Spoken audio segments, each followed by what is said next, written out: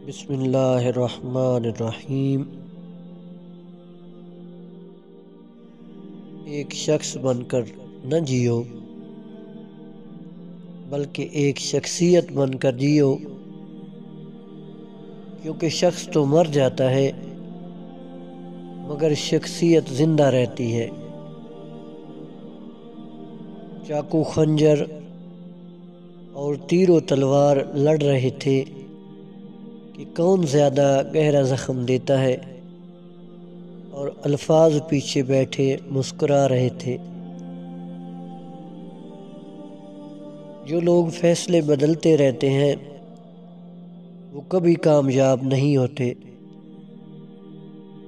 किसी से इतनी नफ़रत न करना कि कभी मिलना पड़े तो मिल ना सको। और किसी से इतनी मोहब्बत न करना कि कभी तनहा जीना पड़े तो जी न सको।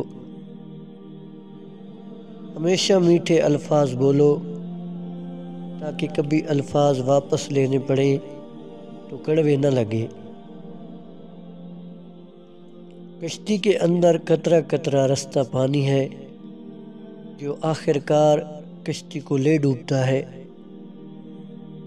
अगर ज़िंदगी में स्याह बादल न छाएँ हमारी ज़िंदगी में कभी रहमत की बारिश ही ना हो। हसद एक ऐसी धीमक है जो इंसान को अंदर और बाहर से ख़त्म करती है। खामोशी बेसबब नहीं होती, दर्द आवाज़ छीन लेता है।